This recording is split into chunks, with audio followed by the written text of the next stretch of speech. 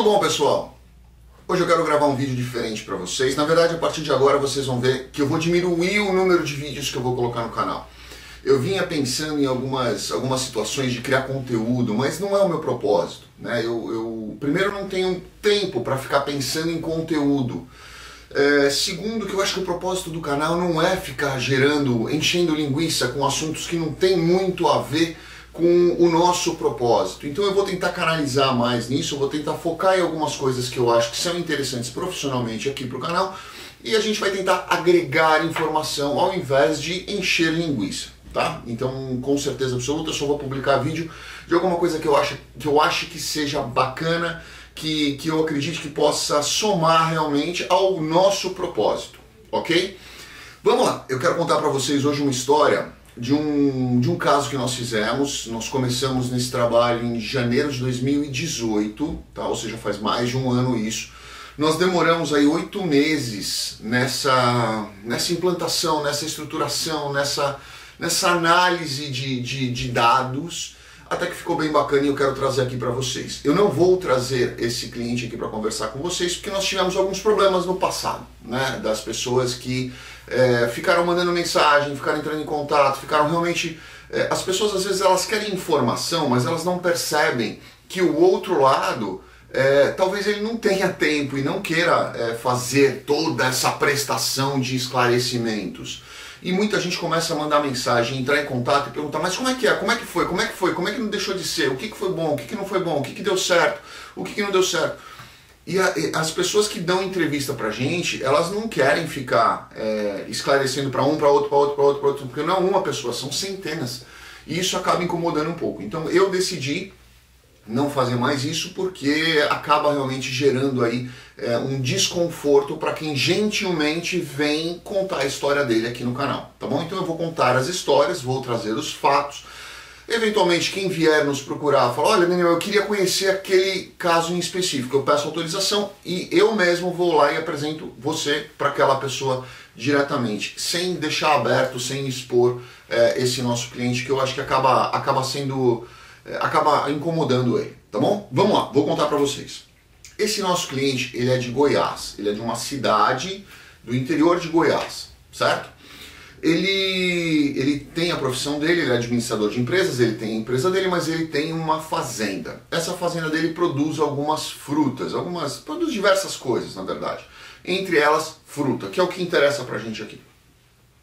E ele pensou em vir aqui para os Estados Unidos, ele tem cidadania espanhola, ele quis vir aqui para os Estados Unidos com a família dele, e ele queria mexer com alguma coisa que realmente tivesse a ver com o prazer dele, que é a fazenda dele. E não com algum negócio é, mais em, em, comercial, de cidade, de, de, de mall, de plaza, de quiosque. Ele não queria isso. Ele queria algo mais é, voltado para esse, esse projeto dele. E como eu gosto bastante de fazer coisa diferente, falei, vamos pensar em alguma coisa nesse sentido. E nós pensamos.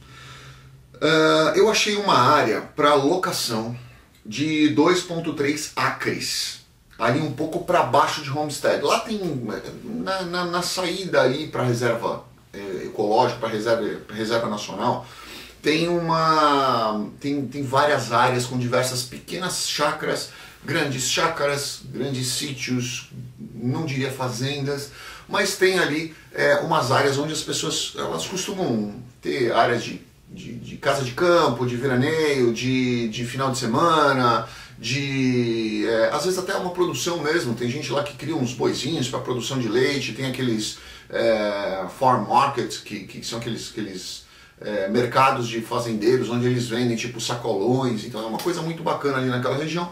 Eu achei um, um, uma área muito bacana, muito bacana mesmo, que tinha duas casas já construídas. Uma casa um pouco melhorzinha e uma outra casa mais ou menos, né? é, onde a gente fez uma pintura, nós gastamos aí, não gastamos 10 mil dólares para reformar as duas casas ficarem bacanas. Uh, ali, 2.3 acres dá mais ou menos, um acre ele tem 4 mil metros quadrados mais ou menos, então ele tinha 8, 9, 10 mil metros quadrados, não, não, não chegava a 10 mil metros quadrados, tá? Era um terreno bom, grande, mas não imenso, certo? E nós chegamos à conclusão de que não fui eu que fiz isso, quem fez isso foi um engenheiro agrônomo que até esse meu cliente conseguiu de indicação de um outro produtor que tinha ali na região também.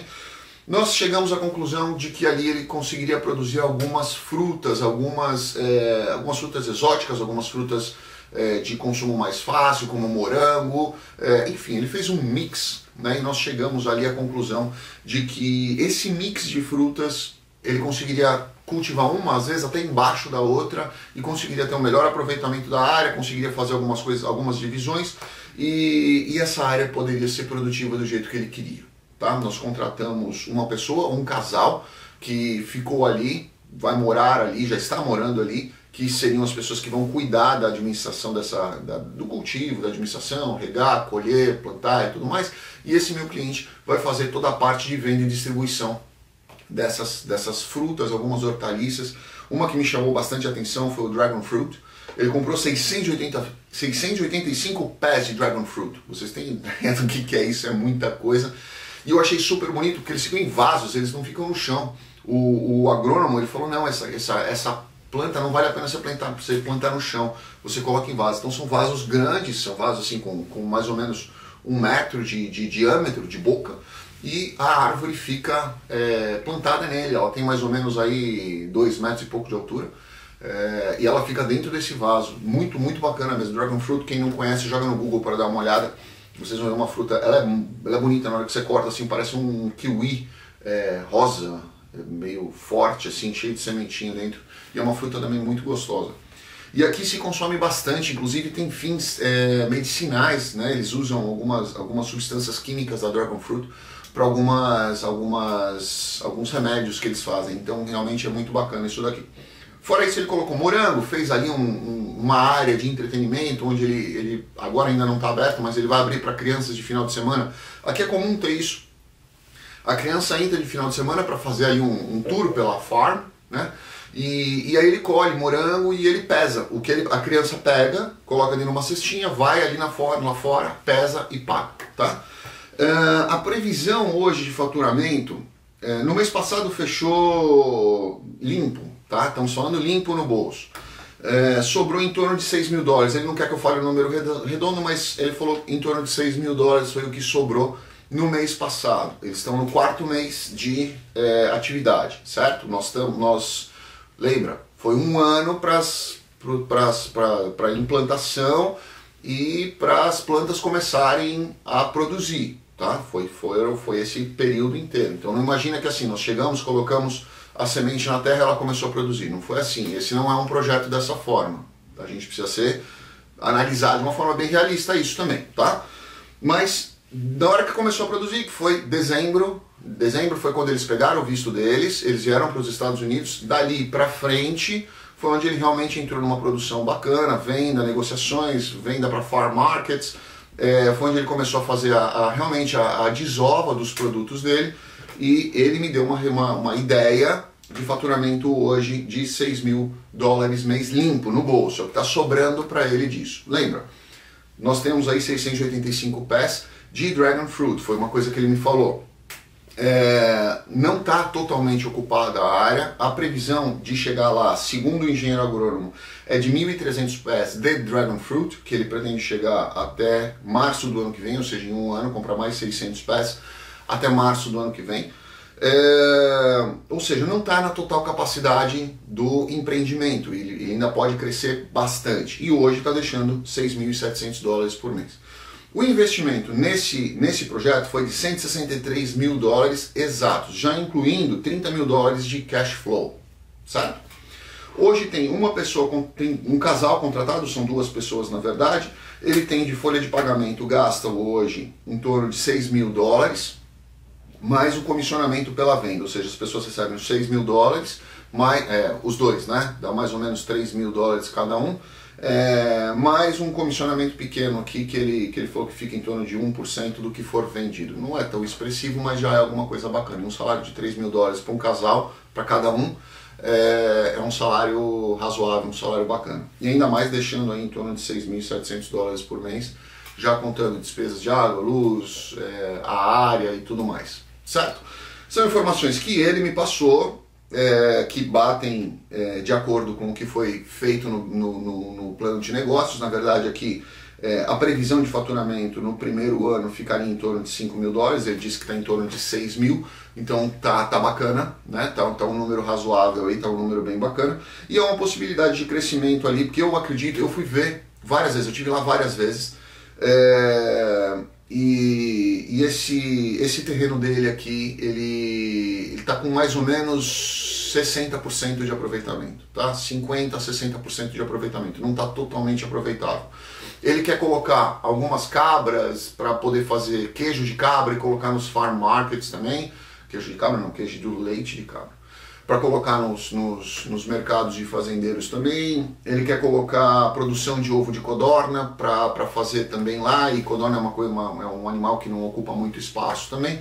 Então ele quer fazer algumas coisas ainda ali, virou um hobby, num prazer que ele tinha, numa coisa que ele gosta de fazer, ele conseguiu replicar isso e colocar isso numa execução de um negócio e transformar esse negócio da, da vinda dele para os Estados Unidos com a mulher e a filha dele aqui para os Estados Unidos num, numa coisa prazerosa, mexendo com algo que ele realmente gosta. Que é aquilo que eu sempre digo para as pessoas, né? Você tentar direcionar o seu projeto para algo que você gosta de fazer, que você tem prazer em fazer, muda totalmente todo o astral, todo, toda a energia, toda, toda a situação de uma coisa em que eu canso de falar para vocês, o visto não é a causa, o visto é a consequência.